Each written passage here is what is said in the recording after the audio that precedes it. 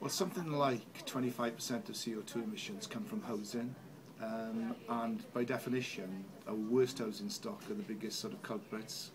And the poorest people in society tend to live in those houses. So for us, it's, it's absolutely essential that we look at ways of improving things like energy efficiency because that has a direct impact on fuel poverty. So the only way we're going to do that is by investing in green skills and hopefully get the economic benefits from that for, for poorer communities as well.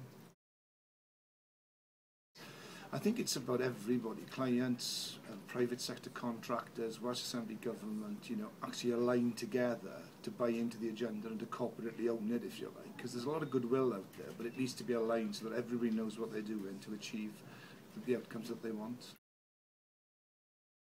While we're investing something like £3 billion pounds in improving homes to the Welsh housing quality standard over the next five years in some of our poorest communities, and that's going to throw all sorts of issues about the sort of homes we want for the future. So I think it's really important that we look at, at the opportunities, not just to improve homes, but to get local jobs training, particularly green skills training into those communities.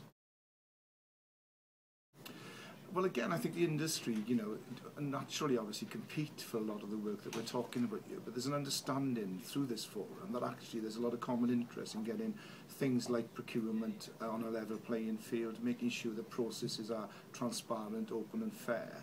Uh, so that everybody starts on the same footing. So I think it's really encouraging that competitor organisations recognise they've got a mutual interest in making this a much better and fairer process